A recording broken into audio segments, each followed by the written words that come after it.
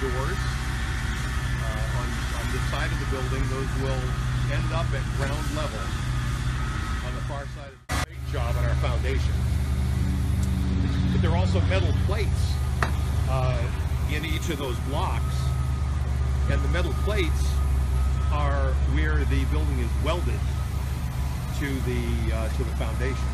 Um, you'll notice that there are drain holes uh, up in the top. That's again that drainage coming off the roof.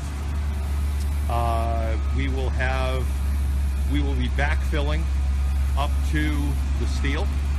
Uh, so there will be uh, there will be a ground level exit for all of the children onto the playground, etc.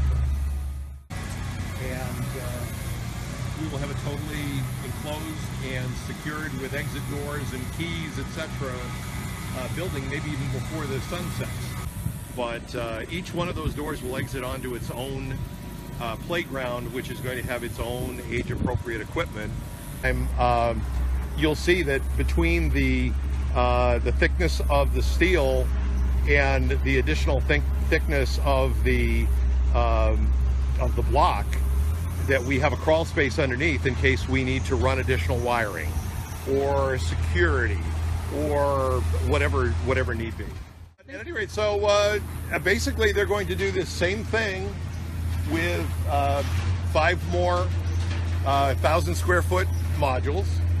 Um, and by the time we're done, we're going to have, you won't see that steel, you won't see that block. Uh, we will have cement, uh, Hardie siding um, all the way down to cover that. We'll have dirt